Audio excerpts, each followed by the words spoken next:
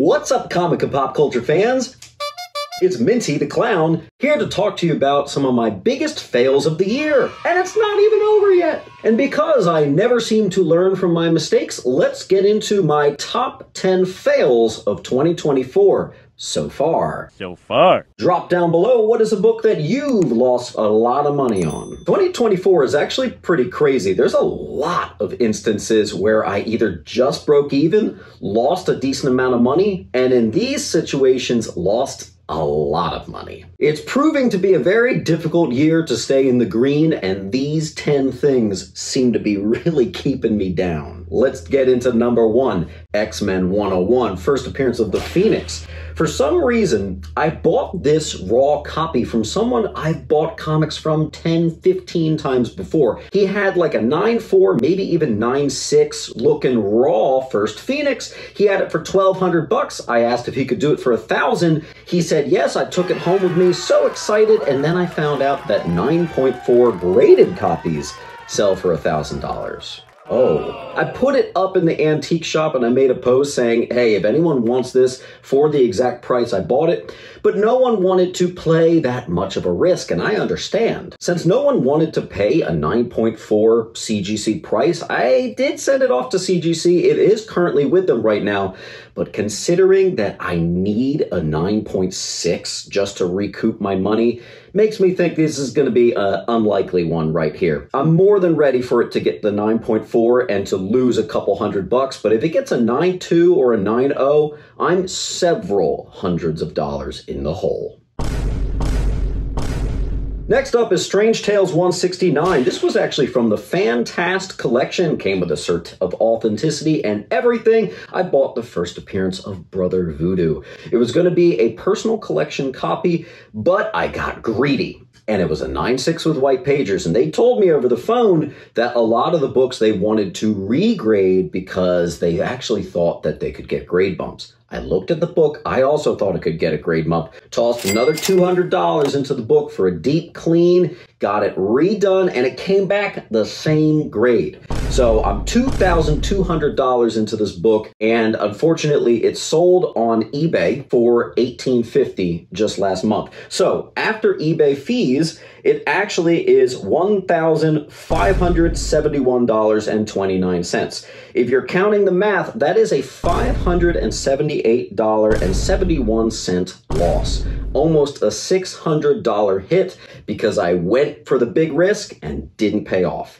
Next up is my least favorite on the list. Number three, Archie's Girls, Betty and Veronica 320. This is the first appearance of Cheryl Blossom. I bought this, and granted, using my eBay rewards on the eBay credit card, but still I could have used it for something else, for $668.23 in November 9th of last year. This thing was advertised as mint. Remember that that's going to be important. Just to solidify the fact of how sharp it was, I even had it sent to my presser, who then we had it sent to CGC after that for the Dan Parent signing because I wanted to get a Cheryl Blossom sketch and remark on the book. My hopes were it was going to get like a 9698 and have a sketch of Cheryl Blossom. The book not only was not mint, it got an 8.0, but it had color touch. Ooh.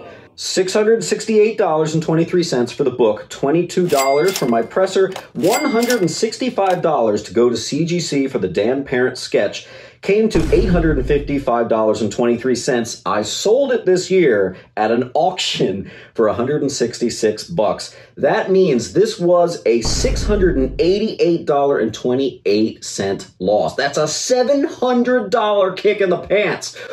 Oh my god, and this seller was the biggest asshole ever. Dude, I reached out to this guy. I was like, hey, I just wanted to let you know you advertised this as mint. It got an 8.0 and had color touch.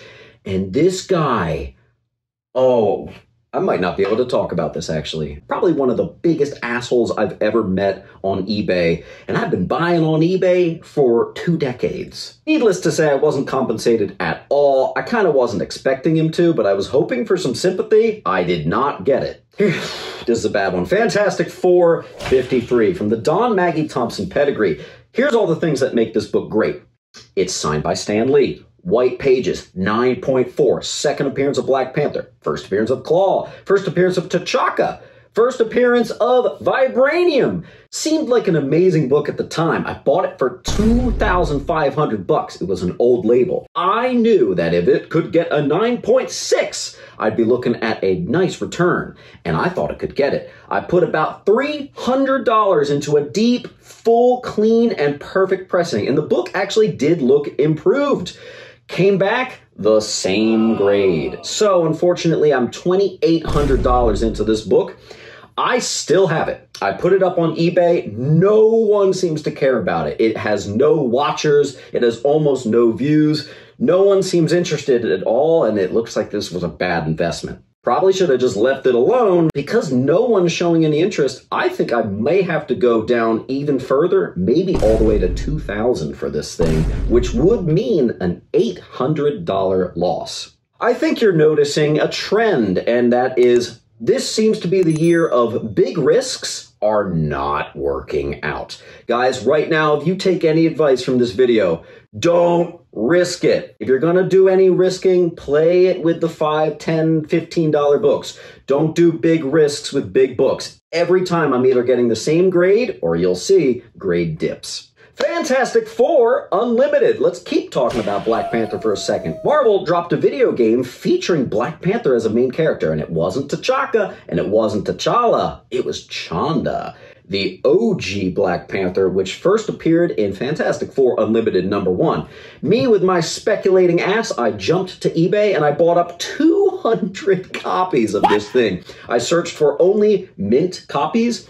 I honestly should have made a video about this. Guys, of the 200, I think about 30 to 40 of them were actually mint. But the problem is, me and the wife unboxed everything and rebagged and boarded. We couldn't tell which ones came from where, so I couldn't dispute anything, and I was stuck with about 160 to 170 of these things. I put them at the antique shop for just $3 a piece, and apparently one of the days when I wasn't working, Someone came in, I got the phone call, offered him 20% on top, and he ended up taking them all. I was hoping for a bunch of 9.8s of this thing because after all the direct editions are 100 and the newsies were about 150. I got four directs that got the 9.8 and four newsies that got the 9.8.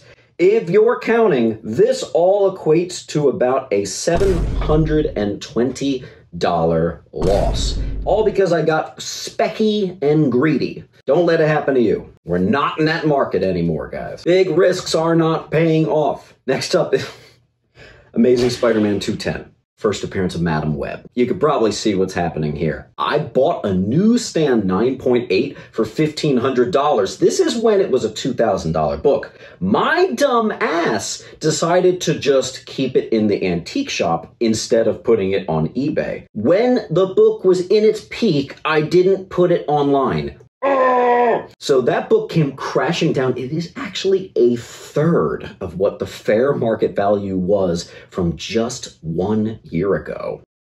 Yeah. Yes, the last sale was $680. so if you're doing the math, that means once it sells, it's about an $800 kick in the pants. This is not the market to be doing big risks. Also, if a book's hot, sell it, man. Don't hold it. Next is one ill-fated trade. I traded a 9.4 Teenage Mutant Ninja Turtles number one, second printing, Sounds like a really expensive book? You bet. And I actually had later a bunch of people interested in. Kind of wish they messaged me first because I actually traded it to a friend who I've done some trades with, and I, of course, love this person, but I got a crap deal. I got a bunch of ratio, like 1 in 200, 1 in 300, and 1 in 500 variants. On paper, it looked like I was coming out on top. But now it's been months later and not a single one of those books has sold. So I gave a TMNT 9.4 for a bunch of 1 in 500 variants. I don't even know why I did it. It's really strange because I'm not that type of guy. And very clearly, my clientele doesn't seem to care about 1 in 500 variants. So as of right now, I have netted, I think, $0 from that trade. This could be A $3,000 loss. Oh God.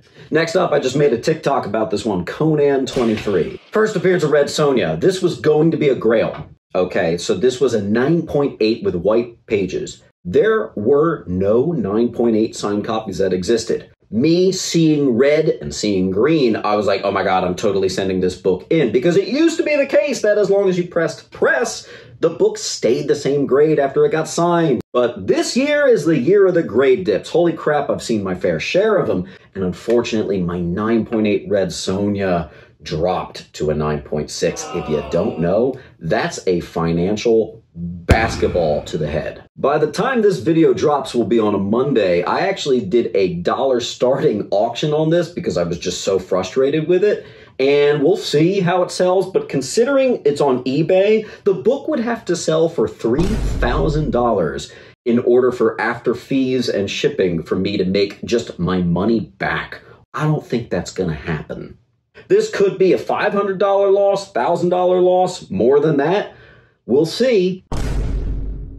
To be fair, if it was going to be a signed yellow label and keep the 9.8, I wasn't going to sell it, so it was going to be a loss either way. This just hurts so much more. Second to last is the first collection of 2024 that I bought. I was really eager to start the new year running. So I got a lead on a collection and I actually paid a helper to come with me. We drove an hour away and saw a collection. It was like 12 short boxes, something like that. And it was probably what we would consider junk. It was all new books, but it wasn't even Marvel or DC. It was like independent titles. But what got me is the fact that there were metal covers in there, there were like 1 in 100 variants and other sorts of things, or even a couple signed books. Once again, I completely forgot that my clientele only likes the antique stuff. They don't like anything brand new. Only about $200 of that stuff actually sold. And every time I've tried to bring that stuff to my claim sales, it stops it dead in its tracks. So clearly that stuff is a claim sale killer, and I actually had to just bulk it out. I offered him $1,800. I really only made like two, maybe 300 bucks. That was, if you include gas and the amount I paid my helper, a 15 or a $1,600 waste of time. Whoa. I learned very quickly that most comic book shops actually only pay $20 a short box for junk. I was giving him well over a $100. Definitely should not have done for that particular collection, and I got slapped with it in the end. The last massive investment that has left me on my rear is the birth of my son. I love him more than anything. He gives me life, but I think that medical bill was twenty-seven or twenty-eight thousand dollars. I can't remember correctly. So if you don't know, babies are really expensive in the U.S. Definitely wasn't prepared for how much of a kick in the pants it would be. Luckily, he's the best thing that I've ever done. He's the best thing that's ever happened to me. Guys, you gotta have some fun with it. And you know what? This is definitely a buyer's market right now. Sellers, hang in there. If you were lucky you were selling in 2020, right now we're in the pits. It will get better. You just got to be smart and god dang, avoid the huge risks. Don't Send 9.8 slab books to get signed. You might get a grade dip. Don't hold on to really hot books. They're going to go down. Don't trade massive easy selling keys for modern 1 in 50 variant crap. Heed my warning, otherwise you may be a Minty the Clown yourself. See you at the next video. Don't f up like I did.